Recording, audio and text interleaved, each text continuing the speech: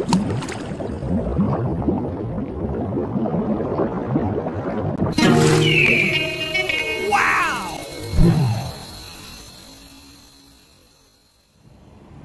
الله السلام عليكم شباب. شلونكم؟ شو أخباركم؟ إن شاء الله الكل بخير. شباب اليوم الحلقة شوية تختلف. اليوم راح نتكلم عن النفايات الموجودة بشط العرب. وشنو أسبابها؟ راح أراويكم وين تتواجد النفايات بهاي بشط العرب الموجودة.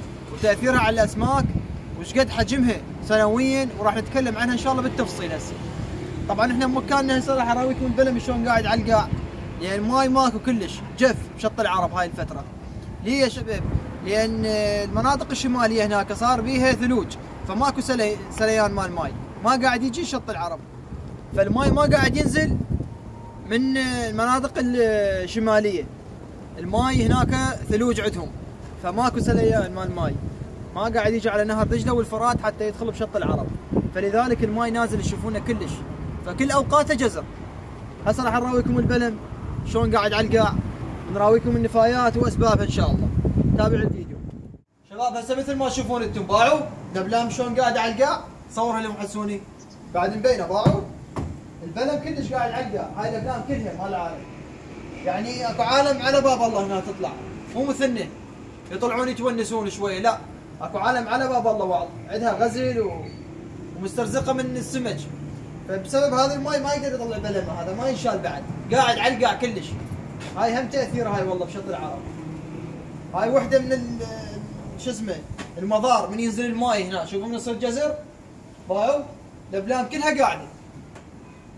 وحتى إحنا ما نقدر نطلع للشط يعني البلم شي طلعة ما يطلع. فلذلك ما قاعد نطلع إحنا. وهو صيدها قليل بالشتاء. وهاي الكومة الثانية تجي فوقها. هسه خل نروح نراويكم النفايات وأسبابها شنو. هسه جزر وطلعت كلها. طلعت الوساخة كلها تكبر.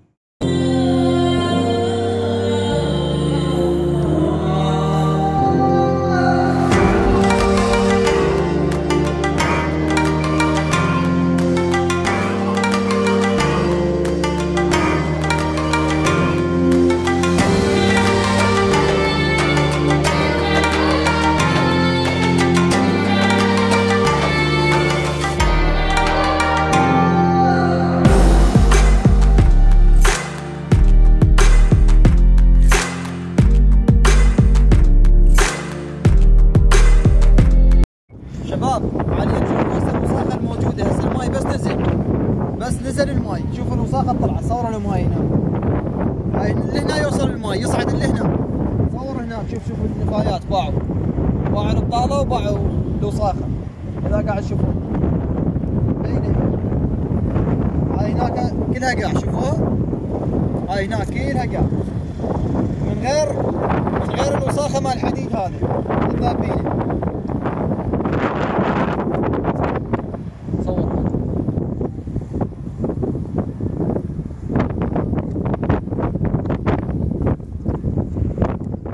طبعا معلومه خليني أقول لكم اياها مغادره 26 نوع من الاسماك بشط العرب. بسبب من؟ بسبب النفايات.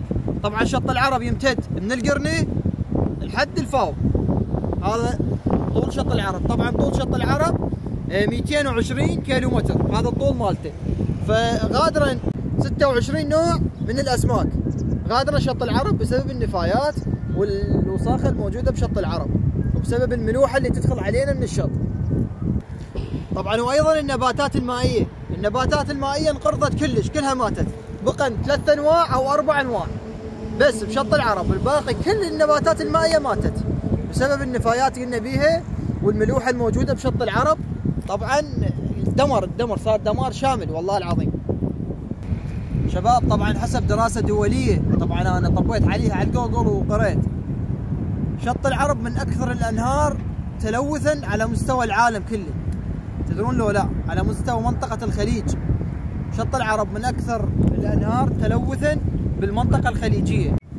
شباب طبعا كمية النفايات الموجودة بشط العرب حسب المجلة اللي قلت لكم من نشرتها للعلوم البحار أكاديمية العلوم البحار الأمريكية اللي هي النفايات مثل ما تشوفون هاي البطالة وغيرها. تعادل مليون طن سنويا فقط بشط العرب. مليون طن. هاي سنويا. هواي يعني شلون ما تموت الاسماك طبعا يعني يصير الشط وسخ. إذا مليون مليون طن سنويا شط العرب بنفايات هاي حسب المجلة الأمريكية اللي نشرتها.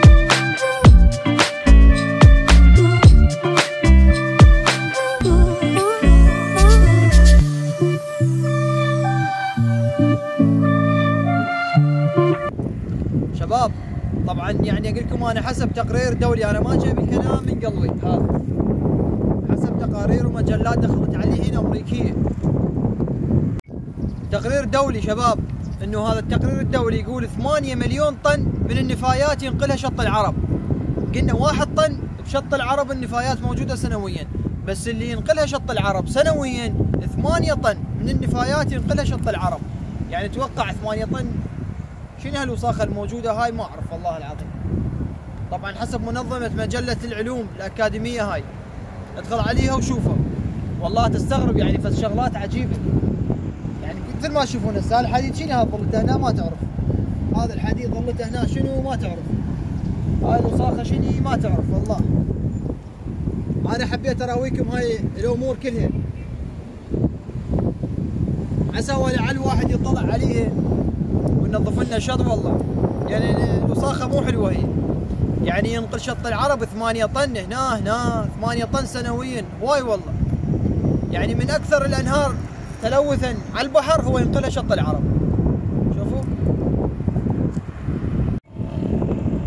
شباب راح نحكي هسه عن مسببات النفايات الموجودة بشط العرب. شنو النفايات الموجودة بشط العرب؟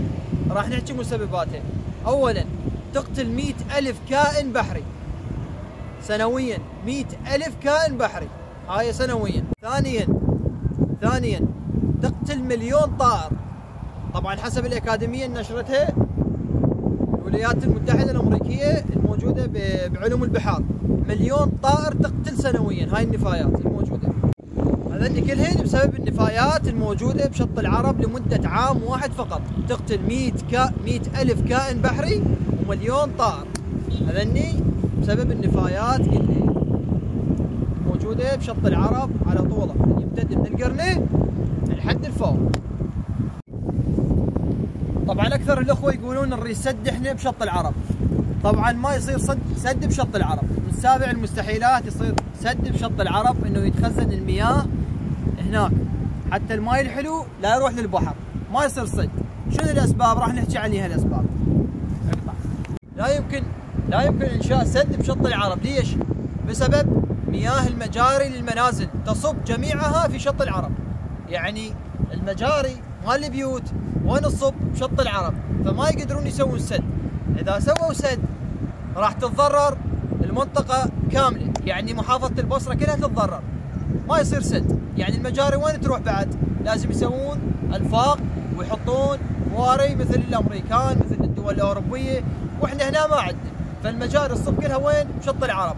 فما يقدرون يسوون سد لأن إذا سووا سد المجاري المفروض بعد ما تنذب بشط العرب. وهاي الحالة سد بشط العرب ماكو. تسوق.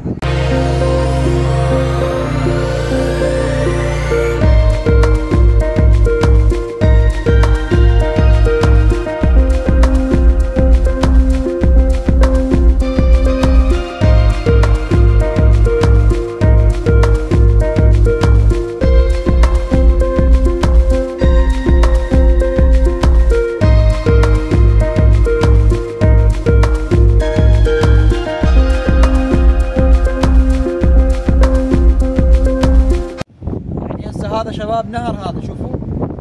هذا نهر. بس شنو من نهر؟ المجاري كلها تتكون فيه هنا. فلذلك ما يقدرون يسوون سدود. قلنا بيها قبل شوي. شوفوا هذا النهر شلون؟ لون أسود. وباع الزباله الموجودة هنا.